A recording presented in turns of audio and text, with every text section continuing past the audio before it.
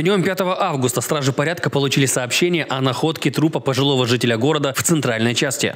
Признаков криминальной э, смерти на трупе не обнаружено. В ходе э, проведения э, доследственной проверки и установления обстоятельств происшествия было установлено, что данный мужчина спустился в овощную яму с целью ее отопления. Вот, в ходе нарушения правил техники безопасности а, отравился угарным газом.